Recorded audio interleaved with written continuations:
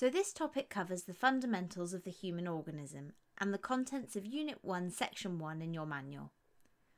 Although you will not directly be targeting individual cells with your massage treatment, these atoms, organelles, and cells make up the entire human body and every component within it. As a massage therapist, you are able to influence the body on a local and systemic level, making it important to understand how it works. To understand them, we need to understand how the human body is put together.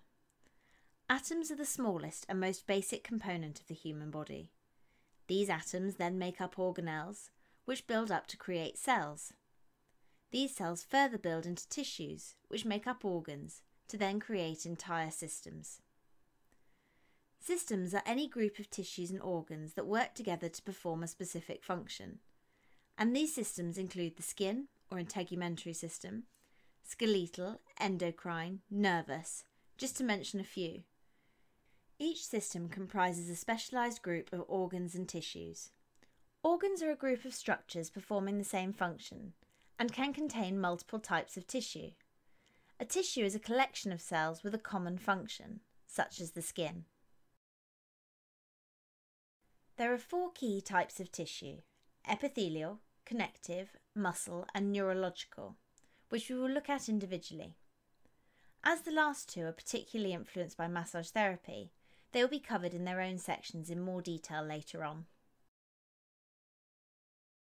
Epithelial tissue is a specialised tissue that covers all the exposed surfaces of the body, most notably the skin, but also the digestive tract and secretory glands.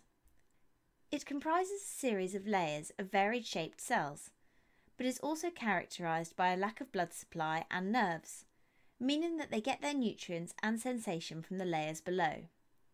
As a result, their main functions are to protect, but also they have capacity to secrete, absorb, and limited sensual capacity.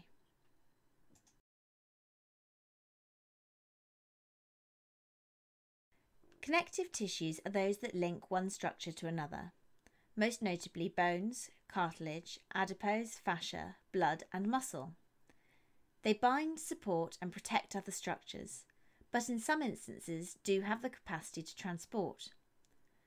Their characteristics and location define the function, such as strength and structure from bones and transport from the blood. This is a unique example. Muscle and nervous tissue are the two remaining types. As these are so important and directly influenced by massage, they will be concentrated on in their own sections. However, in brief, muscle tissue is elastic, able to stretch and contract, allowing the body to move, while nervous tissue provides sensation and controls body commands both voluntarily and automatically. Cells, then, are the building blocks of the human body. Every structure in the body is made up of cells adapted to their function, but all these cells have components, or organelles, that are common. The first of these is the nucleus. This is the control centre of the cell. It contains DNA and not only codes for the cell's function, but maintains reproduction and cell processes. Mitochondria, then, are the powerhouses. They produce energy internally. Lysosomes are the cell's rubbish bins. They remove waste products from within the cell. Ribosomes. These are the doers. They synthesize proteins for use in growth and repair. Finally, the Golgi apparatus. This is the sorting house. It sorts the information to help organise and create structures, but also direct structures in and out of the cell.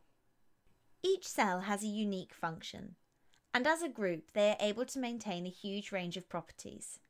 They can filter water in the kidneys, control the body through the brain, and make us move via muscles, just to name a few. Stem cells are the most amazing bit of kit.